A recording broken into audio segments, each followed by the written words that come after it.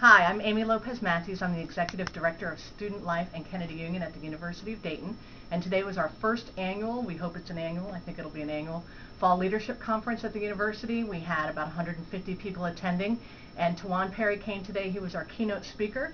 Uh, some of our graduate students had seen Tawan at their undergraduate school and really strongly advocated for Tawan to come and be our keynote. And I actually knew Tawan. He used to work here when he was uh, in residence life. So it was great to bring him back to the campus. Uh, he delivered our keynote speech after lunch, and it was a very high energy, uh, very engaging program. The students were up, dancing around, paying attention.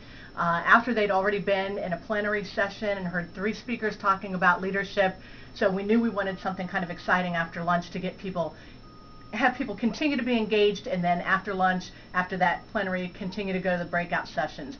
And he was really a nice bridge between that morning and afternoon program that we had. Um, great message about you know, doing what you need to do for yourself, being authentic to yourself, uh, really expanding your own leadership capabilities while you're on campus, what you can do for other people. And that message really resonates with our campus because of our strong sense of community here. So I think it was a great presentation for our students, and uh, we are very pleased.